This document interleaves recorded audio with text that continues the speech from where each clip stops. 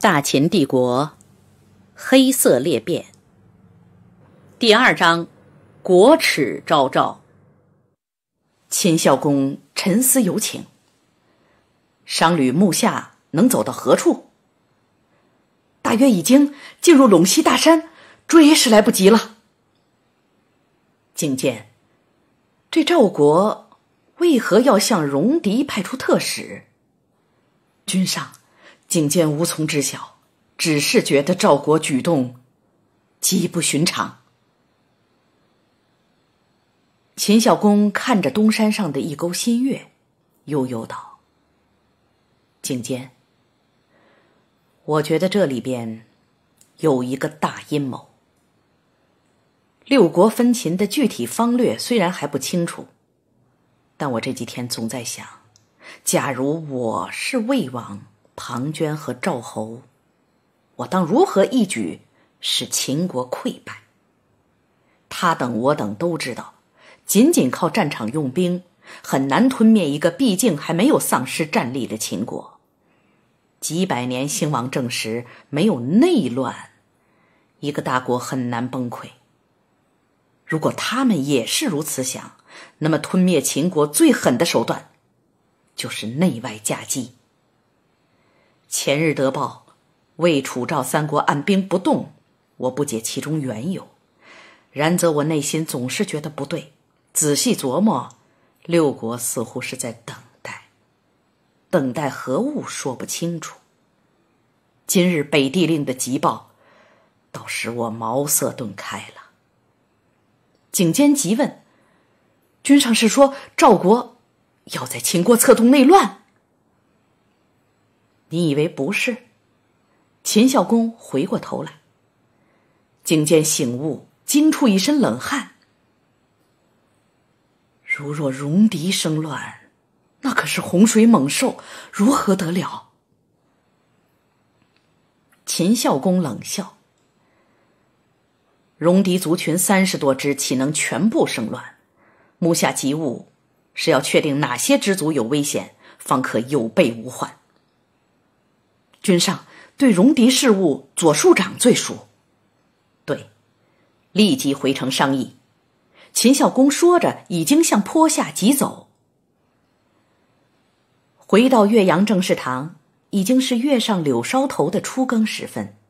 左庶长迎前急急来到国府时，秦孝公刚刚用过一顶汤饼，黑帛添了灯油，盖好灯座上的大网罩。便轻步退出，静静地守在门外阴影里。景监首先向左庶长迎前禀报了北地令的急报，秦孝公又讲了自己的推测判断。迎前听完，阴沉着脸没有说话。半晌，他起身走到书房的大图前，用手中短剑敲着秦国西部，又画了一个大圈道。戎狄诸族三十四支，聚集在泾渭上游六百余里的河谷山原。自先祖穆公平定西戎以来，戎狄诸族除部分逃向阴山外，大部成为秦国臣民。自那时起，老秦人逐步迁到了渭水平原，将泾渭上游河谷全部让给了戎狄诸族定居。两百多年来，西部戎狄一直没有滋生大的事端。立功、造功、简功、出子四代一百余年，荒疏了对西部戎狄的镇抚约束。献公二十年，又忙于和三晋大战，也无暇顾及西部戎狄事务。又将驻守陇西的三万精兵东调岳阳。如此一来，西戎各族和国府就有所淡漠疏远，但税赋、兵源年年依旧，并无缺少。秦国十万大军中。目下还有三万余名戎狄子弟，从根本上说，戎狄诸族不至于全部大乱。但是，据我带兵驻守西戎时得知，戎狄诸族有五六支，原来在九原、云中一带游牧，和燕国、赵国关系甚密。要说生乱，可能这几支危险最大。这是哪几支？定居何地？秦孝公目不转睛地盯着地图问。营前指点着地图道：“阴戎、北戎、大佗、西环、义渠、红发几族，所居地区在桃水下水流经的临洮、包含狄道这一片，大约有多少人口？多少兵力？先君献公曾下令实行户籍乡武，那时初查六族人口大约在三十余万，兵力不好说。戎狄诸族从来是上马坐兵，下马耕牧，若以青壮年男子论，当有近十万不差。哪个族最大、最危险？西环最大，族人有十万之众，青壮当有三四万之多，其族领曾经自封为王。和燕赵来往也从未间断。秦孝公大视皱眉，沉思不语。岳阳城建楼的刁斗之声清晰传来，听点数已经是三更天了。二位以为当如何应对？秦孝公终于抬头问话：“六国在西部策反，委实狠毒，西戎若乱。”我不打不行，打又力不从心。目下秦国的兵力分散在东部四国的边界，若集中西调，又恐六国趁虚而入。营前沉重踌躇，颈间也是忧心忡忡。我一时也没有主张。咚的一声，秦孝公一拳砸在书案上，豁然起立道。不怕，我们也来利用他们的空隙，走一步险棋。他大步走到地图前，你们看，六国在函谷关外等待，西部戎狄纵然叛乱，必然也有等待六国先动之心。戎狄毕竟较弱，很怕被秦军先行吃掉，况且急切间也难以一齐发动。这就有一段两边等待、谋求同时动手的空隙，我们目下就要钻这个空隙，且要迅雷不及掩耳。咋个钻这个空隙？营前警监齐声急问。我意，大哥，立即秘密调动东部兵力，向西开进到戎狄区域的大山里隐蔽。戎狄不动，我不动。戎狄若动，我必先动，且必须一鼓平定。同时，警监立即携带重金到魏国秘密活动，至少拖延其进兵日程。只要打破任何一方，秦国就有了回旋余地。他喘了一口气。假若大哥西晋期间，六国万一进兵，那就只有拼死一战，玉石俱焚了。营前豁然起身，拱手道：“给我三万轻骑，营前踏平戎狄。不，五万，不战则已，战必全胜。”颈间沉吟道：“君上，太空虚了，我们只有五万骑士。”秦孝公慨然道：“老秦人尽在东部，赢渠梁。”也是百战之神，存亡血战，举国皆兵，何惧之有？说完，回身到书架旁的一个铜箱中捧出一个小铜匣，打开，双手郑重的递给营前。左庶长，这是上将兵符。营前双手颤抖着接过青铜兵符，两眼含泪，哽咽出声了。作为统兵大将，他自然知道这上将兵符意味着什么。它是只有秦国国君才能使用的无限制调动全国兵力的最高兵符。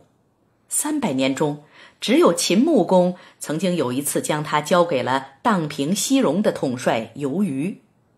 而今，年轻的君主将上将兵符亲自交到他手，无疑是将秦国的生死存亡交给了他。而这位年轻的弟弟留给自己的却是孤城一片和准备最后一战的悲壮。老秦国有这样的国君，营前有这样的兄弟，岂能不感愤万端？君臣三人心里都清楚，秦国虽然有十余万军马，但半数是步兵和老旧的战车，只有这五万骑兵是由清一色老秦人组成的精锐轻骑。在战国初期，笨重的车战已经渐渐隐退，快速灵动而又冲击力极强的骑兵渐渐成为最有战力的新兵种。这种骑兵就是当时闻名天下的铁骑。所谓铁骑，就是战马和骑士均用当时上好的精铁马具与盔甲兵器装备起来的集团骑兵。马蹄装有铁掌，使战马能够在任何粗糙的地面奔驰而不惧荆棘尖刺；马头装有铁片与皮革相连的面具，使步兵弓箭对战马的威慑大大减弱。马具也用重量轻、硬度高、韧性好的金属铁代替了又重又厚、又软又脆的铜制马具。马上骑士的兵器。也从长大的矛戈转变为轻型刀剑，这种刀剑普遍用精铁铸造，长短一般在三尺左右，锋锐清洁，便于集团冲锋格杀。面对笨重缓慢的战车与步兵结合的古典方阵，这种轻骑发动的狂飙一样的集团冲锋，具有摧枯拉朽般的威力。战国初期，这种铁骑以魏国最为精良。韩国、赵国次之，楚、齐、秦、燕四国不相伯仲。秦国崛起于西陲，久有马上作战传统，本来就没有战车兵种。然而，秦国作为大诸侯国之后，春秋时期力图模仿中原大国的军制，将原来大部分装备粗简的骑兵变成了战车兵。进入战国初期，铁骑涌现，且战法发生了重大变化。秦国却因为精铁缺乏和人口减少，不可能拥有真正的精锐铁骑，而只是装备了少量铁马具、铁兵器的轻骑兵。这五万轻骑所需要的精铁，大部分都是从韩国买来，辗转偷运进入秦国的。当时。秦献公精选出五万老秦子弟兵组成的秦国铁骑，实际上成为了秦国唯一的一支可以随时开出与山东诸侯作战的防卫力量。如果全数开赴陇西，秦国东部就只剩下千余辆老旧战车和两三万部族。一旦强敌入侵，后果何堪设想？然则面临两面夹击的绝境，不如此孤注一掷。西部叛乱，东部大战，后果又何堪设想？君臣三人默然相视间，天边隐隐电闪，轰隆隆一阵闷雷从屋顶掠过，细密的雨滴打在书房窗棂上，刷刷作响，犹如万蚕食桑，又如清风过竹。颈间一惊，老林，不好！他闪过的念头是：道路泥泞，数万骑兵何以行军？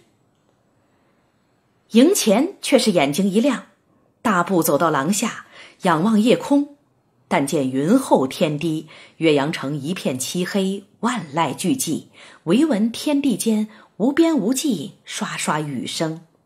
这种雨声不急不缓，不疏不密，不间不断。其徐缓舒展，有如上天撒开一幅细纱，覆盖大地。这是恍若春雨，却又比春雨更厚实的初夏之雨，正是关中年年难免的四月老林雨。其实春耕方完，播种已了，上天的绵绵细雨来的正是妙极。它既不是能够冲开地皮、暴露种子的暴雨。又能够徐徐滋润土地，彻底消解春旱，堪称关中大地的时令好雨。渭水平川，撒种接收，正是因了这种天下难觅的风调雨顺。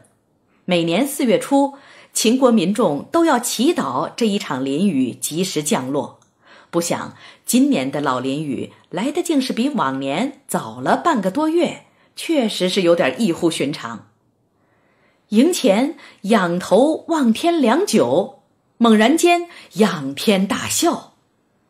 秦孝公泪水盈眶，大步走到院中，向黑沉沉的夜空深深一躬：“上天有知，若秦当不灭，赢渠梁当永不复天。刹那之间，景监恍然大悟，激动地冲到庭院中，双手向天挥舞：“上天呐，好雨！秦国有救了！”大秦帝国之黑色裂变，第二章：国耻昭昭。感谢您的收听，下一期我们继续。